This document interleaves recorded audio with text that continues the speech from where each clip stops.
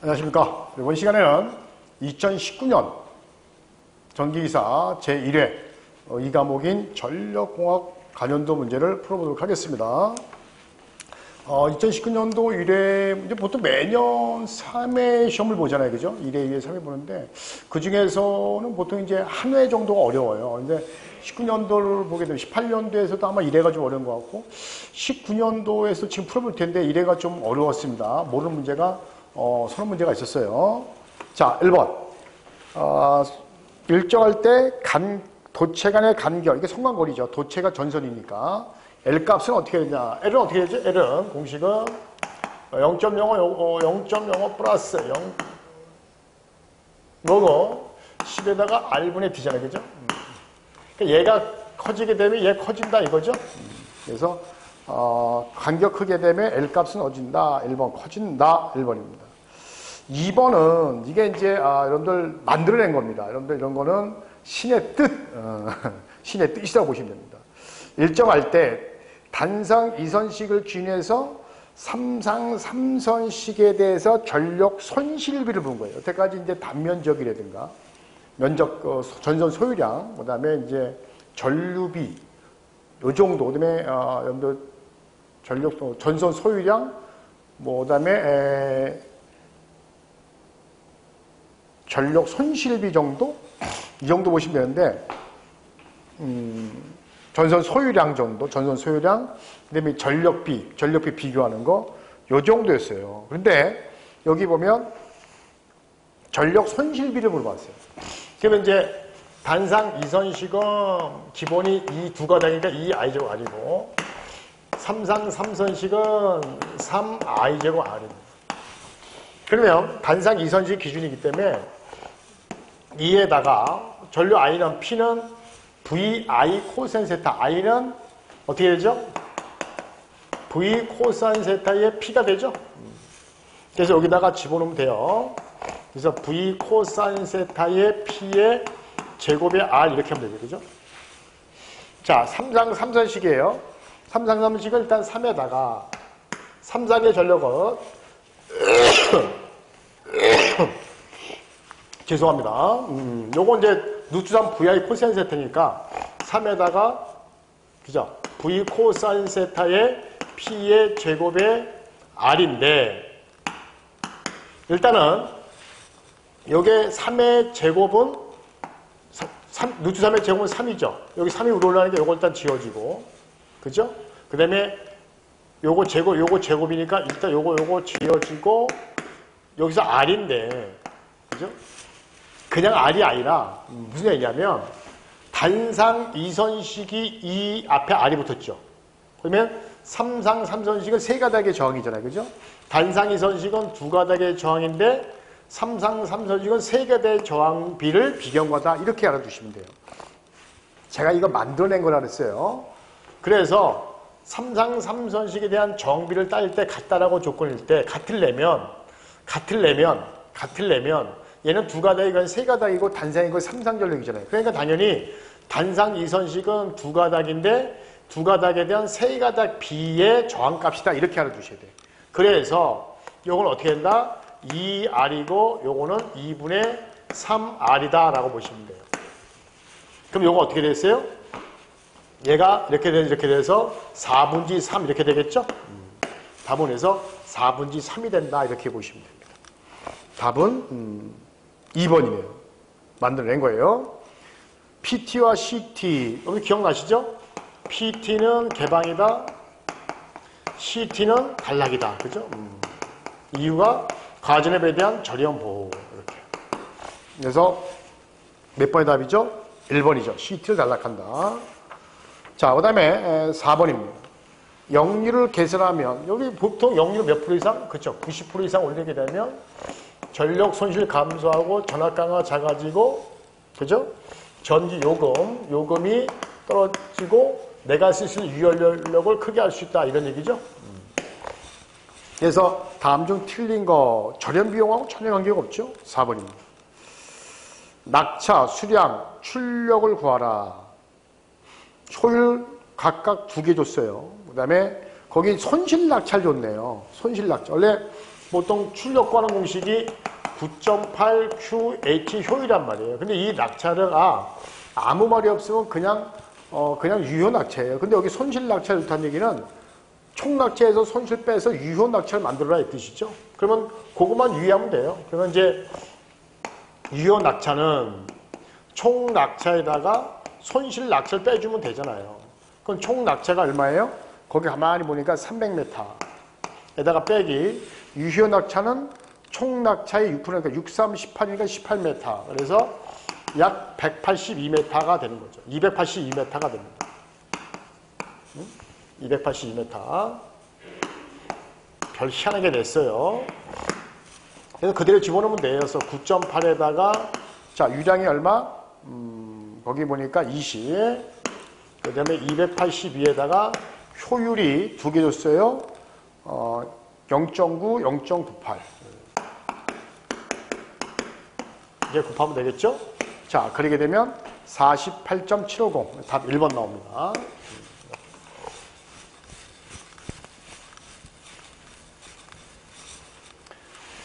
자, 6번입니다. 아, 임피던스가 330이고 또 어디미턴스가 미추치세요. 1.875 10의 마이너스 모, 모에다 미추치시고요. 특성 임피던스 뭐라? 특성 임피던스는 나누기에 곱하기예요. 그렇지요. 나누기죠. 나누기입니다. 나누기예요. 원래 전파 정수는 나누기에 곱하기예요. 곱하기죠. 예. 그러니까 전파 정수는 곱하기고 특성 임피던스는 뭐다? 나누기입니다. 중요한 게 뭐냐면 얘네들의 단위, 얘는 임피던스가 5옴이고 얘는 모우잖아요. 그죠? 근데 다행히 단위가 모우 5옴도 있으니까 그대로 집어넣으면 돼요. 그래서 임피던스가 얼마? 거기 보니까 330. 자, 330. 그 다음에 어디미턴스가 1.875. 곱하기 마이너스 33. 이거 그대로 계산기에 두게 됩니다. 420이 나옵니다. 그래서 답은 몇 번? 음, 4번 됩니다. 그 다음에 다중접촉에 대해서 재패류 기능. 여러분들 어, 기억나시죠? 리클레이저, 시자킬라이저, 퓨즈가 있다. 우리 다중접촉에서 어, 선로 보형으로서 배열이 돼 있는 게 첫 번째 리클레이저. 얘 같은 경우는 이제 개폐류 기능이 있다 그랬어요. 그 다음에 시자킬라이저 뭐죠? 후비보. 그래서 둘 중에 많이 돼서 둘 중에 많이 나오는데 재패란 많이 나오면 리클레죠. 그다음에 후비란 많이 나오면 셰키라이죠. 이렇게 보시면 돼요. 그다음에 요 순서도 알아두셔야 돼요. 순서. 꼭 퓨즈가 뒤에 있어야 되고 얘하고 얘는 자리 바꿔도 사실은 무방합니다. 왜냐면 얘들은 급전선에 있기 때문에 급전선에는 부하를 걸지 않잖아요. 그래서 자리 바꿔 상관없지만 얘는 반드시 끝에 있어요. 얘는 이제 분기 쪽에 있기 때문에 그래서 어, 답이 2번이죠. 리클레죠. 자, 8번. 요것도 만들어낸 겁니다. 아, 이거는 뭐, 어, 여러분들이 그냥 신의 가호의 뜻이 있으면 찍어서 맞으면 되고요. 어. 자, 일단 어쩌고저쩌고 해서 옳은 것, 이거 얼핏 가만히 보니까. 자, 이 S는 A의 ER 플러스 B의 IR. IS는 C의 ER 플러스 D의 IR이거든요. 이게 이제 사실 기술사에서, 발송 배경 기술사에서 이제 이거 나왔던 겁니다. 근데 그거 워낙 복잡하기 때문에 그거 다 할 수는 없고요. 이제 어디서 이제 변, 어, 좀 만들어내냐면 AD 빼기 BC는 얼마다 1이다 해서 보통 A 뒤에 D를 곱했잖아요. 그죠? C 앞에 B를 곱했고 그러면 A 뒤에 D를 곱했기 때문에 여기서 다 D를 곱해요. 얘를 곱하도 얘만 곱하면 안 되니까 얘도 곱하고 얘도 곱하는 겁니다. 자, 그 다음에 C 앞에 B를 곱해요. 얘만 곱하면 되고 얘도 곱해야 되고 얘도 곱해야 되잖아요. 그죠? 그럼 빼줘야 돼요. 빼주게 되면 이 두 개의 값을 이제 빼주게 되면 얘하고 얘는 같잖아요. 그죠? 맞습니까? db, 어, db 곱하기 b도 같은 거 아니에요. 그죠? 요건 얼마야? 10 빼기 10분 0이듯이 똑같은 거 빼면 없어지잖아요. 그죠? 그러면 이제 요것만 남겠죠. 그래서 어, ds, bis에서 빼주게 되죠. 근데 여기 가만히 보니까 AD 빼기 BC는 얼마죠? 1이라고 그랬잖아요. 요걸 이제 여러분들이 눈치를 빨리 채야 돼요. 그래서 일단 볼게요. DES, 요거 빼줘야 되죠? BIS는 요게 1이죠. 그래서 ER 곱하기 1이죠. 음, 얘는 2라고 했으니까. 그죠? 그래서 이 R은 그죠? DES 빼기 BIS 이렇게 쓸 수 있는 거죠? 음. 그래서 이게 답입니다. 3번이죠. 이거 만들어낸 겁니다. 근데 또 다음에 나올 때 여러분들이 혹시 이제 이 간연도 할 때 이런 건 이제 외워버리면 되죠. 그래서 어, 가만히 보니까 어, 힘들고 공부하고 막 힘들고 그래서 필기 합격하고 나면 이제 우리 바람 쐬러 가잖아요. 어디 가죠? 예, 바다로 가야죠. 바다, 바다. 음, 그래서 바다로 가자. 음, 바다, 바다. 답 3번 바다 이렇게 외우시면 됩니다. 답 3번이고요. 9번 비접지에서 지락전류 계산할 때 사용되는 정전 능량. 지락전류 기억나시죠? 응? 3 오메가 C 이렇게 되고 따라서 루트 3에다가 오메가 C V 암페어가 될 때 이 C는 어떤 정용량? 어차피 땅에 흐르는 전류잖아요.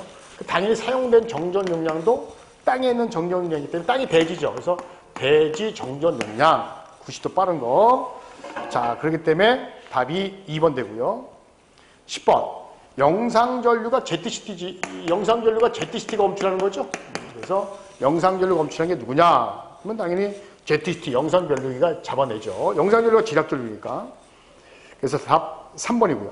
11번. 어, 이상전압, 이상전압이 여러 가지가 있죠. 뭐, 예를 들어서 뭐, 뇌도 있고, 그죠? 대표적인 번, 번개? 뇌? 같은 말이죠. 그래서, 어, 보호학에서 설치하는 게 뭐냐?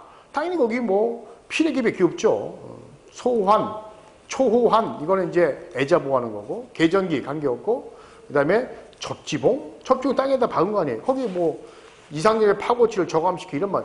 이상전의 파고치는 낙내라고 보시면 되잖아. 그래서 필요밖에 없습니다. 거기에 만약에 가공지선 나오면 헷갈릴 거 아니에요. 그죠? 두 가지 다 답이 되겠죠. 그러나 여기서 하나밖에 없기 때문에 답은 필요밖에 없습니다. 답 어, 2번입니다.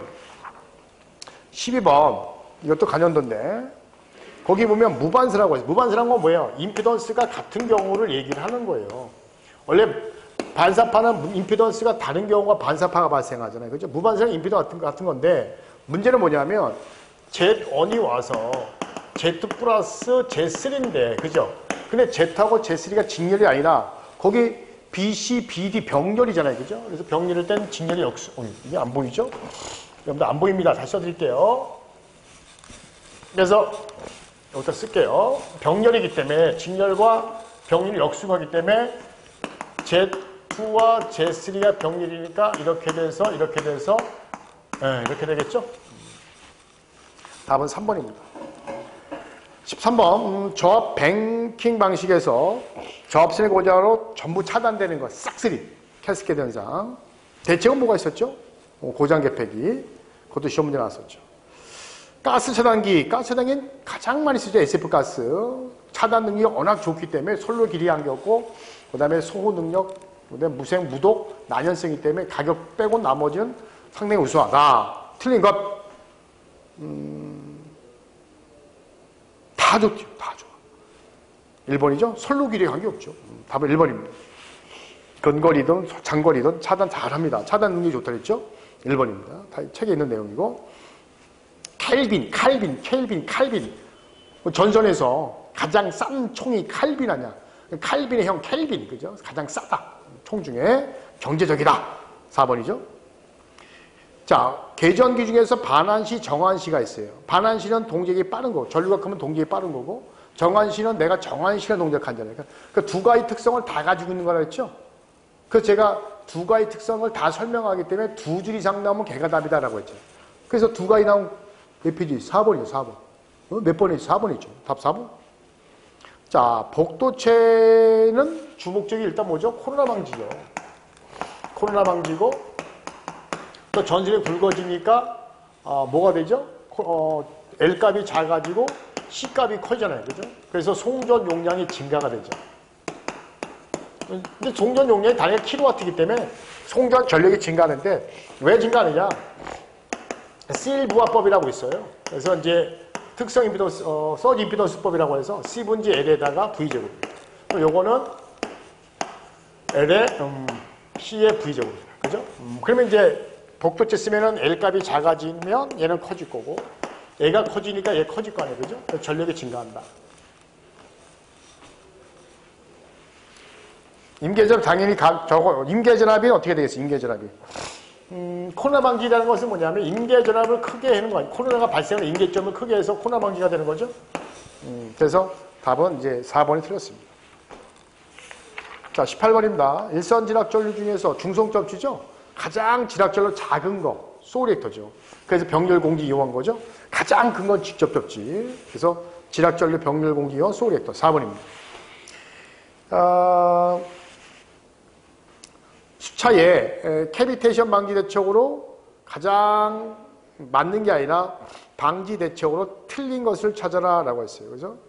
음? 그래서 이제 어, 거기 해설을 보게 되면 이게 사실은 캐비테이션은 사실 그 우리 수차에서 어, 수차에서 이제 압력이 순간적으로 떨어진 현상 등을 얘기하는 건데 그래서 이제 에, 이거는 사실 간연도에 많이 나오지 않습니다. 이거는 이제 어, 우리 또 어, 유체역학 특히 저쪽 음, 펌프에서 쓰는 소방이라든가 그쪽에서 좀 많이 나오는 거고 이 캐비테이션은 이제 전기에서 일부 있긴 있는데 이쪽은 어, 사실은 학교에서는 배우죠. 학교에서는 배우는데 이 우리 과년도에서 그 책의 내 일부 내용까지는 이제 끌고 오진 않습니다. 그래서 이런 거는 신의 뜻이다. 그래서 캐비테이션 첫 번째 아, 수도 낙차를 증대한다. 음. 그러니까 아까 압력이 떨어지는데 낙차 또 늘리면 더 흡출 수도가 뭐냐? 흡출관이라고 했죠, 흡출관. 그죠? 이렇게 수차가 있고 이게 흡출관이잖아요. 이걸 더 늘린다는 거죠. 원래 얘를 갖다가 늘리게 되면 우리가 아무리 흡출관 선체에도 진공 상태가 돼도 10.3m밖에 오르지 않습니다. 진공 상태 만들어도. 그러니까 이제 진공 상태 만들어서 10.3m를 만드는데 손실까지 따지면 7m밖에 안 돼요. 근데 얘를 늘린다고 해서 더 압력이 늘어나는 거 아닙니까? 그래서 답은 1번 봐야 되고 가부와 운전을 가능한 피한다. 그렇죠? 음, 압력이 떨어지기 때문에. 그 다음에 속도를 너무 크게 잡지 않고 그 다음에 침시 강한 또 침시 강한 그러니까 어, 스테인레스 강을 사용해야 된다 이런 얘기죠. 그 다음에 20번 154 성관전압 임피던스 8 용량의 100mb 퍼센트 임피던스 구하라 마지막 문제인데요 J가 붙었으니까 그게 이제 리액턴스죠 퍼센트 임피던스를 어떻게 풀어야 되죠? 이거는 10V제곱 PZ 이걸 풀면 되죠 어. 근데 여기서 10에다가 전압이 얼마였죠? 성관전압이 154의 제곱이고 용량이 얼마? 100MV. 근데 이거 써먹을 때는 반드시 P는 KVA고요. 그죠? V는 킬로볼트잖아요. 그죠? 그래서 용량이 몇 MV? 100MV. 그래서 100 곱하기 10의 3승 KVA. 캡을 바꿔야 되고 임피던스가 얼마? 8. 이렇게 되죠. 그래서 이거 계산하면 3.37 답이 3번이 나옵니다. 아, 18년도, 어, 19년도 1회 문제를 풀어봤는데요. 음, 여기서는 이제 2번 같은 거 하나, 그 다음에 8번 두 문제, 그 다음에 19번 세 문제 정도가 좀 나낸 거고, 그 다음에 이제 나머지는 다 해볼만 합니다. 그세 문제는 처음 봤던 게 나왔기 때문에 여러분들이 좀 그럴 텐데, 어, 생각보다 뭐 이렇게 어려운 게 아니고, 본것 때문에 좀 어색해서 그런 거지, 보통 두세 개 정도는 항상, 어, 애매한 게 나온다. 자, 그래서 2019년도 어, 제1회 전기기사 전력공학 풀어봤습니다. 다음 시간에 뵙도록 하겠습니다. 감사합니다.